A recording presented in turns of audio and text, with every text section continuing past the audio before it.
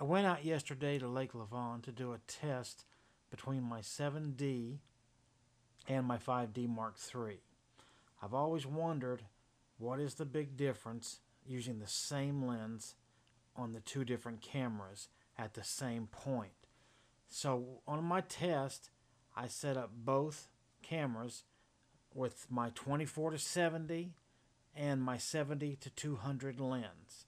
So what I decided to do was to shoot both of them from the same exact spot at pretty much the exact same time, uh, with obviously a few, a minute or two in between.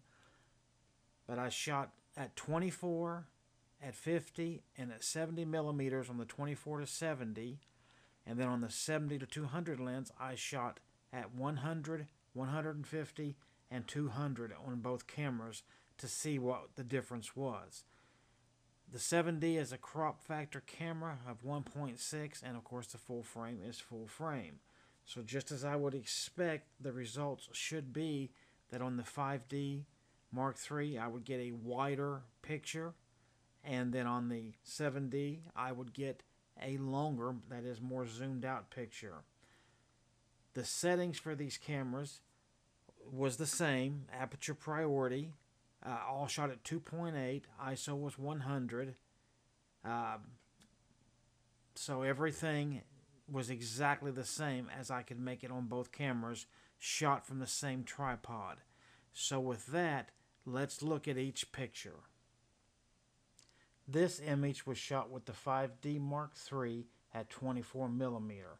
As expected, it is a much wider shot. Take a look at the bridge and the columns that are holding it up and you will notice that it is much wider than what was shot on the previous picture with the 7D. This image was shot with the 7D at 50 millimeter. Notice how much closer the tree is coming into view already. We are well away from the bridge and out into the shady spots, so it's something to think about. Image this image was shot with the 5D Mark III at 50 millimeter. Notice the difference between this picture and the last one, how much further the tree is still out in the water. And again, it's because this, of course, is a full frame camera, which does not go out as far. Here is the 7D at 70 millimeter. You can see how much closer into view this image is versus what's coming up for the 5D. The difference, I think, is quite remarkable.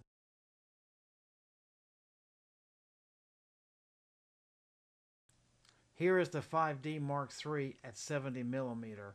Notice the difference from the 7D. It's, this looks closer to the 50 millimeter on the 7D, yet we are at 70 on the full frame camera.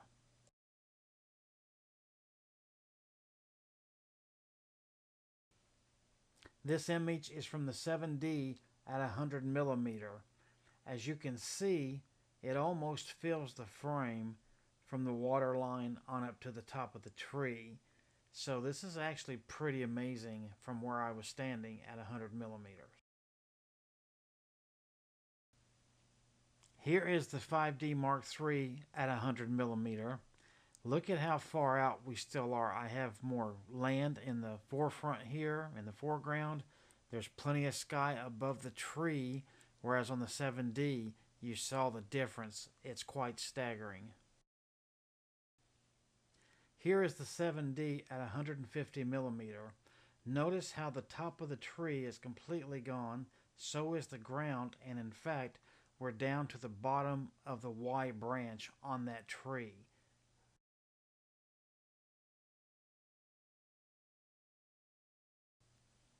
Here is the 5D at 150 millimeter, and you can see we still have plenty of foreground and plenty of ground at the top that you can see that the, even the top branch is not yet cut off.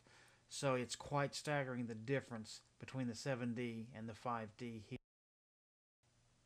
Here is the 7D at 200 millimeter as far as we go out. Look how much of the tree is chopped off and how much water there is that's left. So when you see the last picture coming up, it should amaze you.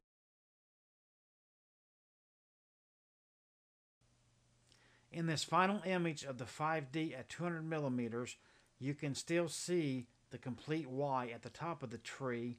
You can still see all of the water and some of the ground, which obviously you couldn't see any of that in the 7D picture. So this concludes my test of the crop sensor and the full frame. And as you can see, to me anyway, the results are quite staggering.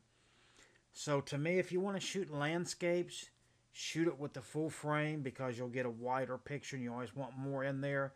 If you're out shooting wildlife or something far away that you're trying to isolate, then I think that the crop sensor is the way to go.